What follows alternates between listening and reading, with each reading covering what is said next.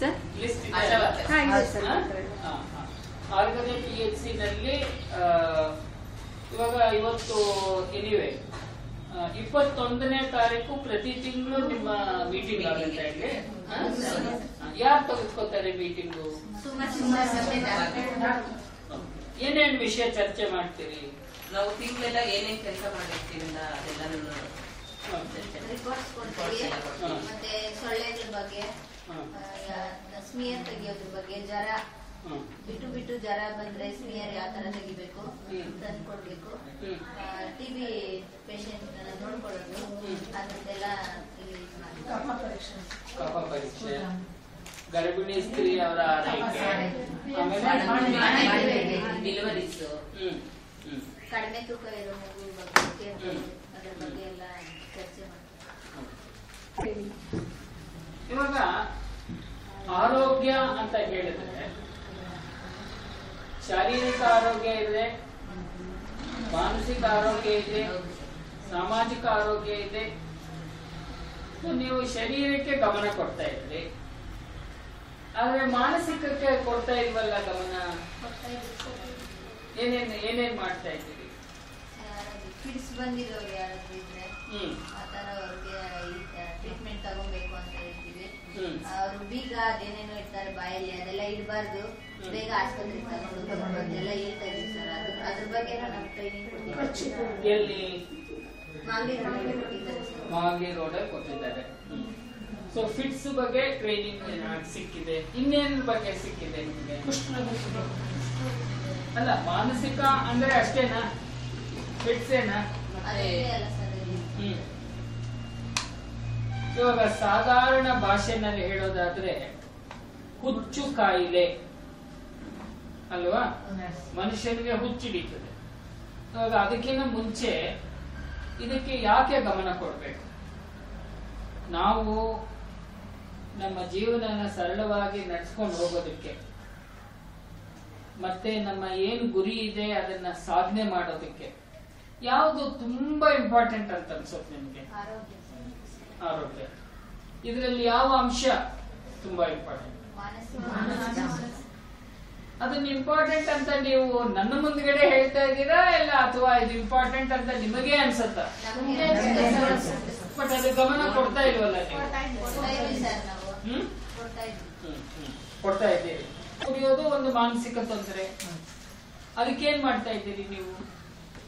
ಕುಡಿಬೇಡಿ ಅಂತ ಹೇಳ್ತೀವಿ ಸರ್. ಅಂದ್ರೆ ಅವರು ನಾವೇನು ಹ್ಮ್. ಎಷ್ಟು ಹೇಳಿದ್ರು ಒಬ್ಬೊಬ್ರು ಕೇಳಲ್ಲ. ಓಕೆ ಸೊ ನೀವು ಹೇಳ್ತೀರಿ ಆದ್ರೂ ಅವ್ರು ಕೇಳೋದಿಲ್ಲ. ಗಲಾಟೆ ಮಾಡ್ತಾರೆ. ಸರ್. ಏನಂತ? ಕುಡ್ಬಿಟ್ಟು ನಾವು ನಾವು ಕುಡಿದೇ ಬಂದು ಸಾಯಂಕಾಲ ಕುಡ್ದು- ಜಗಳ ಮಾಡ್ತಾರೆ. ಅದಕ್ಕೆ ನಾವು? ತರ ಪ್ರಾಬ್ಲಮ್ಸ್ ಫೇಸ್ ಮಾಡಿದ್ದೀವಿ ಸರ್ ಈಗ ಮೂರು ವರ್ಷದಿಂದ. ಹೌದಾ? ಸೊ ಹಾಗಾದ್ರೆ ಏನ್ ಮಾಡೋಣ ಅದ್ರ ಬಗ್ಗೆ?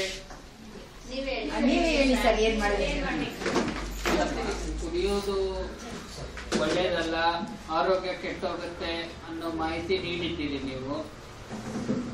ಆದ್ರೆ ಜನ ಅದನ್ನೇ ವಿಷಯ ಇಟ್ಕೊಂಡು ನಿಮ್ಮ ಮೇಲೆ ದೂರ ಹೇಳೋದು ನಿಮ್ಮನ್ನು ಗಲಾಟೆ ಮಾಡೋದು ನಿಮಗೆ ತೊಂದರೆ ಕೊಡೋದು ಆ ರೀತಿ ಮಾಡ್ತಾರೆ. ಕೊನೆಗೆ ನಿಮಗೇನ್ ಅನ್ಸತ್ತೆ ನನಗೆ ಯಾಕಪ್ಪ ಈ ತಲೆನೋವು ಸುಮ್ಮನೆ ಆಗ್ಬಿಟ್ರೆ ಒಳ್ಳೇದು ಅವ್ರು ಕುಡ್ಕೊಳ್ಳಿ ಸತ್ತೋಗ್ಲಿ ನನಗೇನು ಅಂತ ಸುಮ್ಮನೆ ಆಗ್ಬಿಡ್ತೀರಾ? ಅದಕ್ಕೆ ಏನಾದ್ರು ಟ್ಯಾಬ್ಲೆಟ್ಸ್ ಇದ್ರೆ ಕೊಡ್ರಿ ಅಂತ ಅವ್ರ ಮನೆಯವ್ರು ಕೇಳ್ತಾರೆ. ಹ್ಮ್. ನಮ್ಗ ಅದು ಗೊತ್ತಿರೋದಿಲ್ಲ. ಅವ್ರು ಬಂದು ನಮ್ಮ ಮನೆ ಹತ್ರ ಮನೆ ಹತ್ರ ಜಗಳ ಮಾಡಿದಾಗ ಮನೆಯವರೆಲ್ಲ ನಮ್ಮನ್ನ ಬೈತಾರೆ ನಿಮ್ಗೆ ಯಾಕೆ ಬೇಕು ಈ ತಲೆನೋವು ಸುಮ್ಮನೆ ಅವ್ರಿಗೆ ಗೊತ್ತಿಲ್ಲದೆ ಇರೋ ತರ ನಾವು ಟ್ಯಾಬ್ಲೆಟ್ ಕೊಟ್ಟು ವಾಸಿ ಆಗೋ ತರ ಇದ್ರೆ ಕೊಡಿ ನಾವು ಬೇಕಾದ್ರೆ ಟ್ಯಾಬ್ಲೆಟ್ ಕೊಟ್ಟು ಅವ್ರಿಗೆ ಇದ್ ಮಾಡ್ತೀವಿ ಅಂತ ಅವರು ಮನೆಯಲ್ಲಿ ಇರೋರು ಇರ್ತಾರೆ ಸರ್ ಕುಡಿಯೋರು. ಬಿಟ್ಟು ಬೇರೆಯವರು. ನಿಮ್ಮಲ್ಲಿ ಯಾರಿಗಾದ್ರೂ ಈ ಮಾಹಿತಿ ಇದ್ರೆ ಹ್ಮ್, ಕುಡಿತಕ್ಕೆ ಯಾವುದೋ ಟ್ಯಾಬ್ಲೆಟ್ ಇದೆ ಅವ್ರಿಗೆ ಗೊತ್ತಿಲ್ಲದೆ ಆ ಟ್ಯಾಬ್ಲೆಟ್ ಅನ್ನ ಕೊಟ್ರೆ ಅವರು ಕುಡಿಯೋದನ್ನ ನಿಲ್ಲಿಸ್ಬಿಡ್ತಾರೆ ಅನ್ನೋ ಮಾತು ಸತ್ಯ ಅಲ್ವೇ ಅಲ್ಲ? ಸತ್ಯ ಅಲ್ವೇ ಅಲ್ಲ? ಕುಡಿಯೋದನ್ನ ನಿಲ್ಲಿಸೋದಕ್ಕೆ ಹಲವಾರು ಹಂತದಲ್ಲಿ ಚಿಕಿತ್ಸೆ ಕೊಡ್ಬೋದು. ಒಂದು,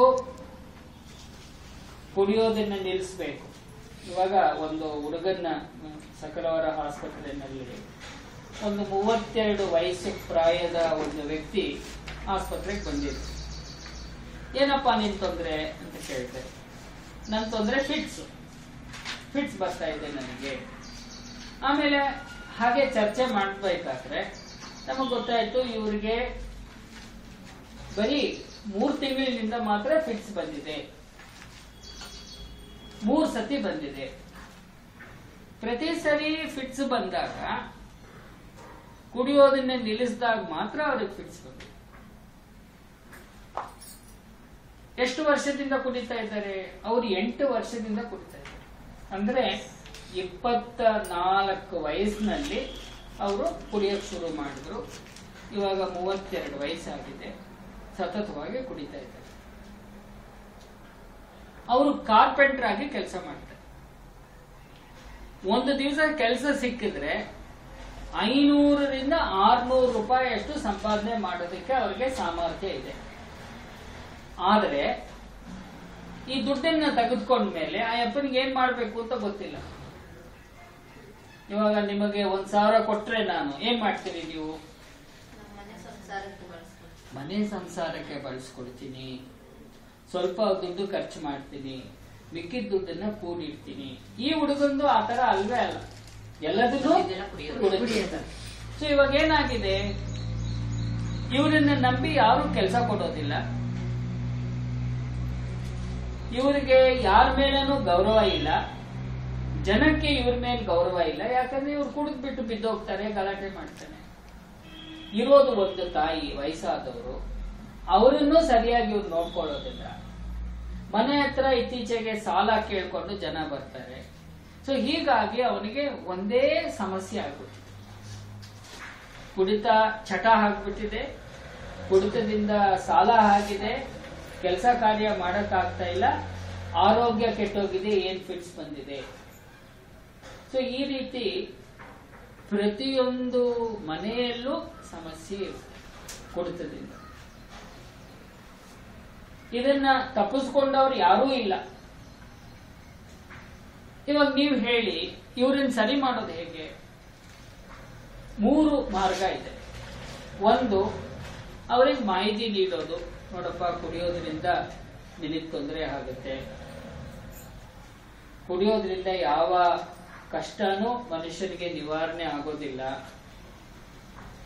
ಕುಡಿತ ನಿನ್ನ ಬಡವನಾಗ್ ಮಾಡುತ್ತೆ. ನಿನ್ನ ಘನತೆ ಗೌರವ ಕಮ್ಮಿ ಆಗ್ಬಿಡುತ್ತೆ. ಯಾರು ಮರ್ಯಾದೆ ಕೊಡ್ತಾರೆ ಇವ್ರಿಗೆ? ಸರಿನಾ?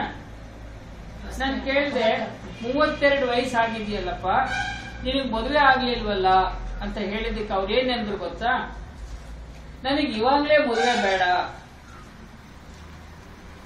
ಸಾಮಾನ್ಯವಾಗಿ ನಮ್ಮ ಹಳ್ಳಿಗಳಲ್ಲಿ ಮೂವತ್ತೆರಡು ವಯಸ್ಸಿನಲ್ಲಿ ಮದುವೆ ಆಗಿರುತ್ತಾ ಇಲ್ವಾ?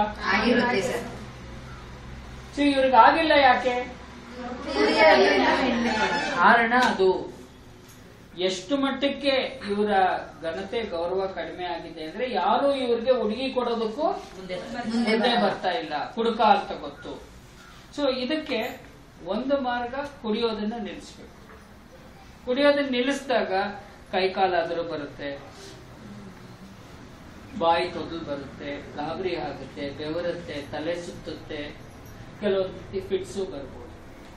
ಅದನ್ನ ಕಡಿಮೆ ಮಾಡೋದಕ್ಕೆ ಮಾತ್ರೆ ಕೊಡ್ಬೋದು. ಅದನ್ನ ಕಡಿಮೆ ಮಾಡೋದಕ್ಕೆ ಮಾತ್ರ ಇದೆ. ಸರಿನಾ?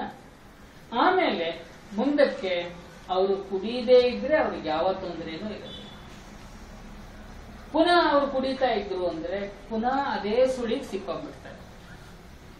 ಇವಾಗ ಇರೋ ಆಧಾರ ಪ್ರಕಾರ ಯಾವುದೇ ವ್ಯಕ್ತಿ ಕುಡಿತಾ ಇದ್ದಾನೆ ಅಂದ್ರೆ ಅವನ ಜೀವನದಲ್ಲಿ ಹದಿನೈದು ವರ್ಷ ಹೊರಟೋಗುತ್ತೆ. ನಮ್ಮ ದೇಶದಲ್ಲಿ ಸಾಮಾನ್ಯವಾಗಿ ಜನ ಎಷ್ಟು ವಯಸ್ಸುವರೆಗೂ ಇರ್ತಾರೆ? ಹೌದಮ್ಮ. ಇವತ್ತು ಮಹಿಳೆ ಆಗಿದ್ರೆ ಅರವತ್ತೈದು ವಯಸ್ಸು. ಗಂಡಸಾಗಿದ್ರೆ ಅರವತ್ತ ಎರಡು ಅರವತ್ಮೂರು ವಯಸ್ಸು. ಅಂದ್ರೆ ಇವತ್ತು ಒಟ್ಟಾರೆ ನೋಡೋದಾದ್ರೆ ಅರವತ್ತು ವಯಸ್ಸು ವರ್ಗೂ ನಮ್ಮ ದೇಶದಲ್ಲಿ ಜನ ಬದುಕಿರ್ತಾರೆ. ಕುಡಿಯೋ ಕಾರಣದಲ್ಲಿ ನಲವತ್ತೈದು ವಯಸ್ಸು ಅವ್ರು ದಾಟೋದಿಲ್ಲ ಸತ್ತೋಗ್ತಾರೆ. ನೀವು ಹಳ್ಳಿ ಹಳ್ಳಿಗಳಲ್ಲಿ ಇವಾಗ ಫ್ಲೆಕ್ಸ್ ಫೋಟೋ ಹಾಕ್ತಾರಲ್ಲ? ಹ್ಮ್? ಈ ಹುಡುಗ ಸತ್ತೋದ ಇವ್ರು ಸತ್ತೋದ್ರು ಅಂತ. ನೀವು ನೋಡಿದ್ರೆ ಎಲ್ಲರೂ ಎಲ್ಲ ಚಿಕ್ಕ ಚಿಕ್ಕ ವಯಸ್ಸಿನವರೇ ಸತ್ತೋಗ್ತಾರೆ. ಏನ್ ಸಮಾಚಾರ? ಒಬ್ರು ಆಕ್ಸಿಡೆಂಟ್ ಇಂದ ಸತ್ತೋಗಿರ್ಬೋದು ಹೆಚ್ಚು ಕಮ್ಮಿ ಕುಡಿತದಿಂದ. ಸೊ ಹಾಗಾಗಿ ಜನಕ್ಕೆ ನಾವು ಮಾಹಿತಿ ನೀಡಬೇಕು. ಯಾರು ನಿಮ್ಮ ಮಾತನ್ನ ನಂಬಲ್ವೋ, ಅವ್ರಿಗೆ ಹೇಳ್ಬೇಕು, ನೀವು ಡಾಕ್ಟರ್ ಹತ್ರ ಬಂದು ಮಾತಾಡಿ. ಡಾಕ್ಟರ್ ನಿಮಗೆ ಸಲಹೆ ನೀಡ್ತಾರೆ? ಅವರ ಮನೆಯವರು ಇವ್ರನ್ನ ಹೇಳಿ ಹೇಳಿ ಹೇಳಿ ಸಾಕಾಗಿ ಏನಾದ್ರೂ ಒಂದ್ ಮಾತ್ರೆ ಇದ್ರೆ ಕೊಟ್ಬಿಡೋಣಪ್ಪ, ಇವರು ಕುಡಿಯೋದನ್ನ ಮರೆಸ್ಬೋದು ಅಂತದ್ ಯಾವುದೂ ಇಲ್ಲ. ಎರಡನೇದು ಅಂತದ್ ಇದ್ರೂ ಕೊಡಬಾರ್ದು. ಯಾಕೆಂದ್ರೆ ಕುಡ್ತಾ ಮಾತ್ರೆ ಜೊತೆ ರಿಯಾಕ್ಷನ್ ಆಗುತ್ತೆ. ರಿಯಾಕ್ಷನ್ ಆದಾಗ ಸತ್ತೋಗೋ ಸಂಭವನೂ ಇದೆ. ನೀವು ಕೇಳಿ ಯಾವ್ದಾದ್ರೂ ಹಳ್ಳಿ ಇದೆಯಾ? ಮಾರ್ಗತೆ ವ್ಯಾಪ್ತಿನಲ್ಲಿ ಬರ್ತಕ್ಕಂಥದ್ದು ಎಲ್ಲಿ ಕುಡ್ತಾ ಇಲ್ವೇ ಇಲ್ಲ?